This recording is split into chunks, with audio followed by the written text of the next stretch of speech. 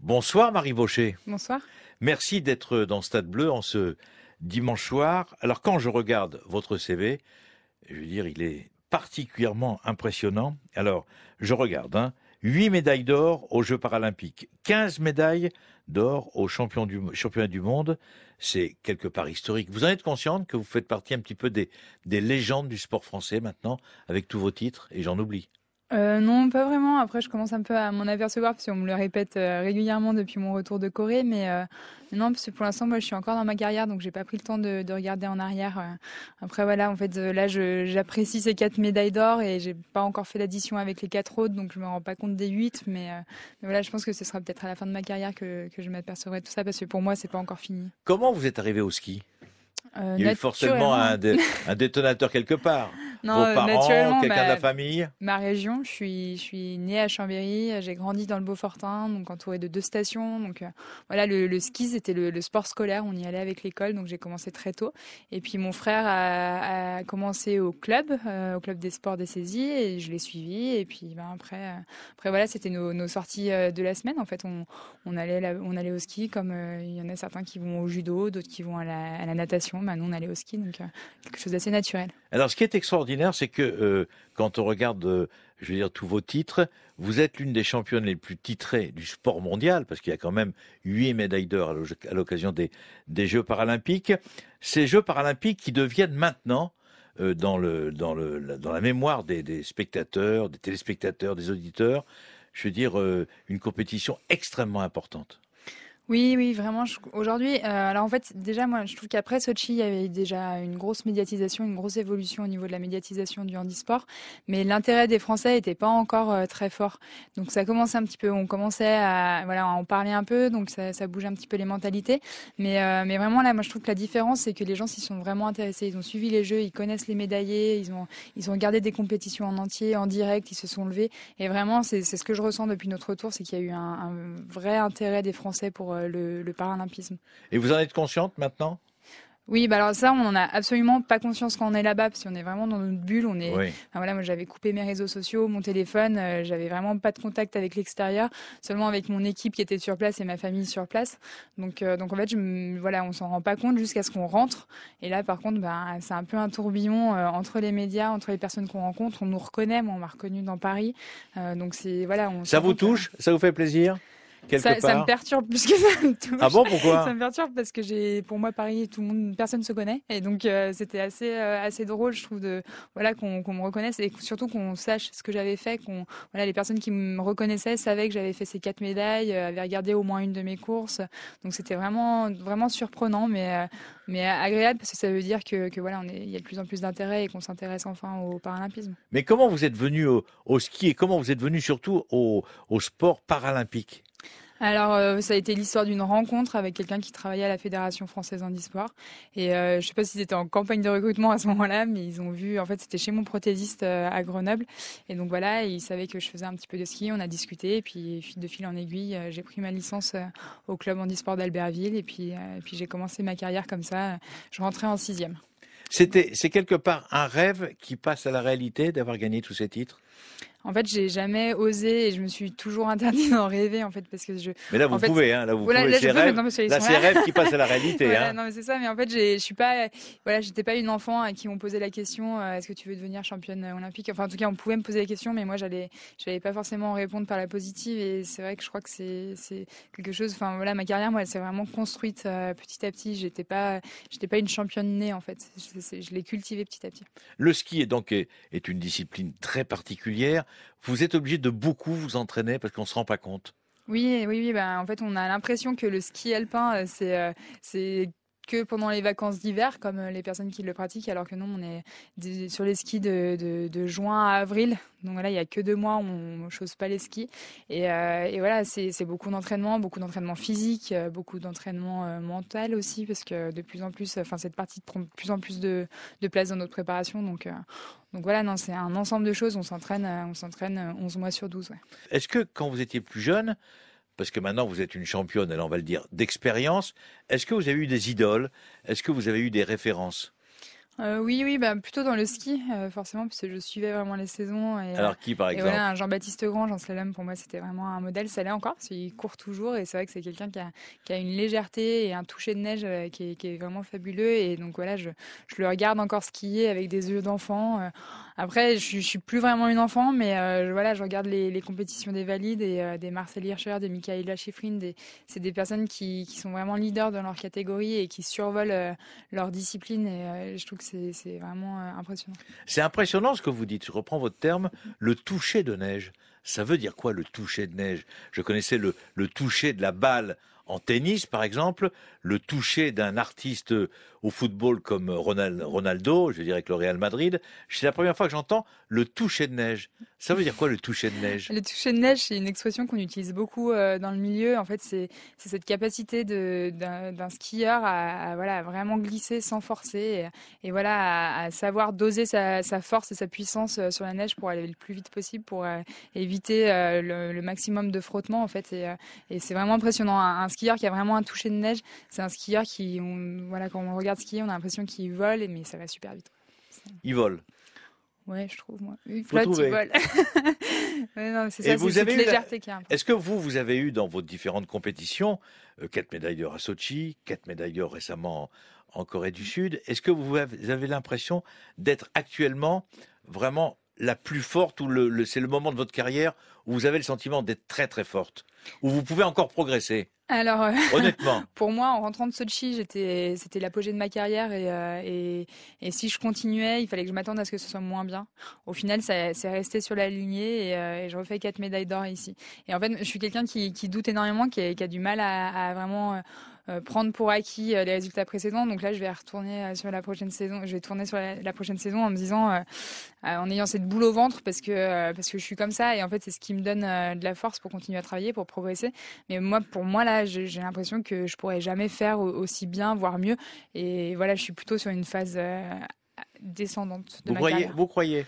Alors ça, c'est ce que je ressens moi. Après, mais par rapport à Sochi et par rapport au dernier jeu en, en Corée du Sud, vous êtes quand même quatre fois championne olympique et vous avez le culot de nous dire que quelque part vous avez l'impression que vous êtes moins forte, non? Non, mais a, je sais qu'il y a un jour où ça va redescendre, donc du coup j'essaye de m'y préparer. Ah, d'accord, d'accord. Euh, non, non, mais moi pour moi Sochi, c'était vraiment l'apogée. Je savais que j'allais là-bas et que j'étais vraiment pleine de, de, de, mes capacités. Non, mais et vous que, voilà, gagnez tout à Sochi et vous gagnez tout en Corée du Sud. Pas tout, tout, il en manque une à chaque fois. Quoi. Oui, d'accord. enfin bon, attendez, c'est pas mais, mal. Euh, non, je pensais vraiment. 4 et 4, en fait, 8. Je, suis, je suis arrivée en Corée et je me suis dit si déjà je fais euh, des podiums. Enfin, je savais que la médaille d'or était complètement jouable, mais euh, mais quand même le, podium pour moi c'était déjà énorme parce que euh, c'est en fait c'est des courses d'un jour et je sais tout ce qui peut se passer en un jour de compétition sur des skis alpins et, euh, et donc j'étais pas partie là-bas avec la même ambition que Sochi parce que pour moi ça pouvait pas être aussi bien que Sochi et finalement ça l'a été encore mieux parce que même la course où je tombe c'était une, manche qui était vraiment euh, qui était vraiment pleine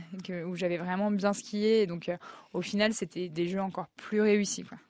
Et vous avez souffert physiquement, moralement? Parce que quand on vous écoute parler, j'ai l'impression que vous êtes euh, médaille d'or, euh, c'est presque naturel. Non, non, enfin non, moi non, je, pas connais pas spécialement le ski, mais enfin sauf que je trouve que vous avez une facilité à raconter vos exploits. On a l'impression que vous êtes préparé à tout ça. Euh, je Vous me- êtes en fait, préparé je- à perdre, mais vous êtes aussi préparé à gagner. Mais c'est là où ma, ma préparatrice me dit Mais Marie, il faut que tu arrives à lâcher prise. Mais en fait, ma, je crois que j'ai cette capacité à vraiment euh, euh, tout prendre en compte, tout imaginer pour pouvoir être vraiment préparée à chacune des, situations auxquelles je pourrais être confrontée. Et donc, euh, j'ai j'ai déjà tout imaginé dans ma tête. Et donc, euh, en fait, tout ce qui se passe doit arriver parce que je l'ai déjà vécu et je sais comment le vivre. Après, non, c'est pas facile. Ça a été des jeux très exigeants. Euh, C'était une saison très exigeante parce que plus j'avance dans ma carrière et plus, euh, plus j'ai- besoin de certitude et, moins j'en ai aussi. Donc, euh, donc en fait, c'est jamais évident. Et là, voilà, c'est des, courses qui, demandent une énergie mentale et physique vraiment importante. Et c'est des jeux, voilà, ça dure 10 jours. On a 5 jours de compétition. Moi, j'ai couru du premier au dernier jour. Il faut être bon. sur chacune de ces journées et c'est épuisant, c'est usant. C'est un palmarès extraordinaire et vous êtes, vous faites partie maintenant, que ça vous plaise ou non, vous faites partie un petit peu de l'ADN des Français. Parce qu'on connaît Marie Baucher, qui était peut-être pas le cas avant. Non, c'est sûr. Il y a, je pense qu'en plus, les sportifs en handisport, on a les handisportifs. Et justement, justement, les, les une sportifs. dimension supérieure. Alors justement, les sportifs en e-sport, faites bien en parler, essayent maintenant de vous imiter. C'est plutôt Mm. bien. Oui, oui, non, mais après, c'est. On, veut devenir, on veut devenir Marie Baucher. Voilà, mais c'est comme quand on me compare à Martin Fourcade. Moi, je suis, je suis, je suis pas, je suis pas pour ça. Je suis pas d'accord. C'est en fait chaque sportif a des, une carrière, a une histoire, et donc en fait, on peut s'inspirer, mais euh, on peut pas, on peut pas comparer. Souvent, on me disait ah bah vous avez battu euh, Martin Fourcade, vous avez battu euh, Jean-Claude Killy. mais on n'a pas la même, la même vie, on n'a pas eu la même histoire, on n'a pas la même concurrence, on n'a pas le même sport, on n'a pas les mêmes disciplines, et donc c'est difficile. On va prendre par exemple l'exemple d'un Pierre Voltier, d'une Perrine Lafont. Ils ont une compétition par euh, jeu. Euh, donc il y a un moment donné où pour avoir euh, quatre médailles d'or comme comme Martin ou comme moi sur ces Jeux paralympiques, ben il faut faire quatre fois les jeux. donc, donc c'est pour ça que comparer des athlètes, c'est difficile. Après, s'en inspirer, voilà, on a, on a chacun eu des, comment dire, des moments de, doute, des moments où on s'est remis en question, mais, voilà, on a su rebondir. Et donc c'est ces petites choses là. Mais, mais c'est vrai que ça m'a fait rire d'ailleurs. Euh, je suis allée voir une des enfants dans une école et il m'appelle plus Marie, il m'appelle Marie Bochet. Et c'est assez, assez rigolo parce qu'en fait, on a l'impression de devenir euh, le, symbole de quelque chose, une marque de quelque chose. Alors, c'est des enfants, alors ils ont un petit peu du mal à, à vraiment euh, faire la différence, mais du coup, c'est assez rigolo, ouais. Mais qu'est-ce que vous voulez faire maintenant de plus sur le plan sportif? Qu'est-ce que vous voulez faire de plus Alors, ce que j'aimerais arriver à faire sur les saisons l'idéal, qui viennent, allez, racontez-moi, c'est en rêve. De, de vraiment skier libéré sans objectif. Parce que là, celle qui me manquait vraiment, c'était la médaille du slalom. Euh, je l'ai jamais vraiment avoué avant de partir au jeu, mais c'était vraiment celle que j'étais venue chercher. Donc la journée du slalom a été épuisante, éreintante. C'était la dernière en plus, donc ça a été très compliqué. Mais du coup, aujourd'hui, il faut que j'arrive. J'aimerais arriver à me dire que j'ai plus rien à gagner. J'ai j'ai juste du plaisir à aller chercher. Et donc vraiment avoir cette légèreté en fait, parce que là, je me suis mis une saison. Euh, vous êtes, vous êtes euh, pardonnez-moi de vous poser cette question. Vous êtes professionnel? Euh, non, alors, en fait, euh, c'est pas vraiment professionnel parce que par professionnel, on entend euh, un salaire euh, mensuel, embauché par la, fédération en fait pour laquelle on court. Et en fait, on est en professionnel entre guillemets parce que on est salarié. Enfin moi, en tout cas, dans mon cas, je suis salarié à l'armée de, de, terre, à l'armée de champion. Et donc voilà, je suis, je suis embauché par l'armée pour représenter mon pays sur les, les compétitions à l'international. Donc je suis payé pour faire du ski. Mais voilà, c'est par l'intermédiaire de, l'armée ou comme euh, par la douane pour certains autres athlètes. Donc euh, ça, c'est le moyen que l'État a de trouver pour euh, soutenir ces sportifs. À quel moment vous êtes dit dans votre tête, peut-être avant Sochi ou, ou récemment à l'occasion des Jeux en, en Corée du Sud, encore qu'en Corée du Sud c'était acté puisque vous avez déjà gagné quatre médailles d'or à Sochi. À quel moment dans votre vie vous êtes dit, je peux peut-être être une belle grande championne? Est-ce qu'à un moment vous êtes dit c'est jouable? Sans euh, avoir de certitude. Est-ce que vous êtes dit euh, j'avais encore un peu d'insouciance. C'est comme un c'est comme un gamin qui euh, à 18 ou 19 ans dit ah je pense que je peux jouer dans une équipe de football professionnelle. Oui, mais c'est à peu près à cet âge-là, parce que je crois que c'était sur mes premiers jeux, c'était à Vancouver en, en 2010. Au Canada Au Canada, en 2010, et j'avais gagné le Globe de slalom cette année-là. Et donc j'arrivais sur ces jeux, j'étais un peu insouciante, j'étais encore une enfant et, euh, et du coup je, me suis un peu euh, plantée sur ces jeux, mais c'est ce qui m'a aussi formé, forgé pour la suite. Et euh, c'est à ce moment-là où je me suis dit mais en fait je pense que voilà les jeux ça peut être pour moi, les médailles elles peuvent être pour moi aussi et je crois que c'est vraiment là où je m'en suis rendu compte en fait. Quelle est la différence entre des titres de championne du monde et des titres de championne olympique. Est-ce que l'importance est la même dans votre tête? Parce que champion du monde, championne du monde, c'est quand même pas mal non plus. Oui, alors euh, c'est différent, je pense, parce que les, les, événements, euh, les événements sont pas les mêmes. Les en mêmes. Et donc, euh, en fait, au jeu, il y a vraiment toute une organisation, tout un, un, univers, toute une ambiance qui est, qui est faite pour que euh, qu'on trouve euh, chaque exploit extraordinaire, ce qui n'est pas encore le cas chez nous en championnat du monde. Et donc euh, c'est plus voilà, c'est plus fort d'être championne paralympique que d'être championne du monde parce qu'il y a plus de monde, il y a plus de partage en fait. C'est surtout le partage et, et, et la, multiplication des émotions qui rendent cette, ces médailles plus belles. Après, il y a une différence, moi je trouve, avec les globes. Par contre, les globes, donc les globes, c'est les, les trophées qu'on remporte quand on gagne un classement général sur toute mm. une saison dans une discipline ou sur toutes les disciplines. Mm. Et voilà, par exemple, un globe général, pour moi, ça, enfin, dans le monde sportif, dans le monde du ski, le globe, c'est quelque chose qui est bien plus représentatif de la qualité d'un skieur parce que ça représente une régularité sur 5, 6, 7, 8, 10, 10 courses. Et donc, c'est vraiment là, en fait, où on a une qualité de sportif. Au jeu, c'est plus une qualité de, de, de, voilà, de savoir répondre présent le jour J. Euh, quel est le titre ou la course qui vous a le plus fait plaisir, le plus touché? En Corée? Non, sur ah. Sochi, en Corée, etc. Est-ce qu'il y a une course qui ressort? Une où là, vraiment la joie euh, intense, euh, peut-être au bord de l'évanouissement, l'émotion, etc. Est-ce que vous vous souvenez d'une course particulière? Parce que vous avez tellement Euh, de titres qu'il est difficile d'en- sortir un quelque part. Mais est-ce que vous, Non, dans si, votre tête, il y en j'en a un ressors quelques-uns. Après, en ressortir un, et c'est pas représentatif de tout ce que j'ai vécu dans ma carrière, donc euh, donc c'est difficile. Mais euh, je pense à ma première médaille en descente à Sochi, la première médaille paralympique, la première médaille d'or. Euh, alors c'était pas forcément à l'arrivée de la course, un petit peu, mais c'était surtout euh, sur le podium où là on prend vraiment conscience. la grande émotion Ouais, et puis il y a la famille, Marseillaise. l'équipe, la Marseillaise. La Marseillaise, ça fait toujours son effet. Quand on Toujours. la chante sur le podium paralympique, en général, on pleure. Et, euh, et je vais faire ressortir aussi la médaille du slalom en Corée. Euh, c'était la dernière course des Jeux, la dernière course pour la délégation aussi. Donc c'était la dernière médaille à apporter au tableau. Il y a eu un mélange d'émotions entre la voilà, enfin, j'avais touché ce but euh, en slalom qui, qui me titillait depuis un moment, parce que déjà à Vancouver, je courais pour la médaille d'or en slalom. Sochi, elle me passe sous le nez. Enfin, je lui, enfin bref, j'ai pas fait ce qu'il fallait le jour-là.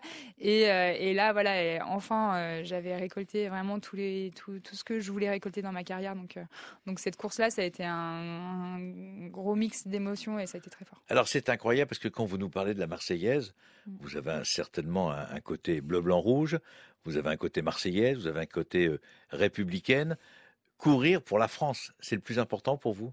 Pour votre pays Ouais, j'ai du mal à m'imaginer courir pour un autre pays. Il y en a hein, qui y arrivent, hein, mais, mais moi, je sais pas, j'ai- je pense que Même pas j'aime j'aime intensément mon, ma, ma nation. On rigolait parce que je devais me marier avec un Canadien pour, pour être au Canada, pour avoir des jolies vestes. Mais du coup, mais même ça, c'est qu'un projet parce que pour moi, quitter la France, c'était quand même compliqué. mais non, non, mais ça, c'était vraiment pour rigoler. Mais, mais non, moi, c'est, enfin voilà, c'est ça aussi qui est fort au jeu. Et, et ce peut-être ce qu'on ressent un petit peu moins sur des championnats du monde, sur des coupes du monde, c'est qu'on court vraiment pour la France. On est vraiment une équipe de France, une, délégation française. Et là, en tant que porte-drapeau, c'était encore plus fort. euh, J'ai porté ce drapeau, j'ai porté ces couleurs euh, bleu, blanc, rouge. Et c'est vrai que c'est quelque chose qui, qui montre encore plus d'émotion. Et je pense qu'on est quand même assez chauvin et assez patriote en France. Et, je pense que ça ajoute une dimension supérieure. Alors quand vous parlez de porte-drapeau de la délégation française aux Jeux paralympiques, là aussi c'est une émotion. Là aussi c'est un moment qui sort de l'ordinaire quand même d'être choisi, d'être désigné. été- ouais, alors c'était quelque chose dont on m'avait déjà un petit peu parlé euh, un petit peu euh, plus tôt et voilà il fallait que je m'y prépare. Euh, moi j'étais pas tout à fait prête parce que j'allais quand même avoir beaucoup d'attentes, euh, beaucoup de pression sur ces jeux donc me rajouter ça, j'étais pas sûre d'être capable de tout supporter. Puis finalement quand on te pose la question, on- voilà ça te fait réfléchir et surtout ça, enfin voilà on te montre qu'on a confiance en toi et on se dit qu'on est que tu es capable de le faire et en fait ça a ajouté une, une autre dimension à mes jeux. Euh, voilà, une dimension euh, de partage et de, de, de, de, ouais, de, de, de- de vie et d'expérience en équipe que j'aurais peut-être pas eu en tant que porte-drapeau. Là, je me suis, enfin voilà, ça m'a ouvert sur euh, d'autres émotions et donc je regrette absolument pas d'avoir accepté ce rôle. Merci Marie Baucher. Merci à Et vous. surtout, surtout, je vous en supplie, continuez à nous faire rêver. Merci beaucoup. Merci infiniment d'être venu dans, sur France Bleu dans l'émission Stade Bleu à dimanche prochain.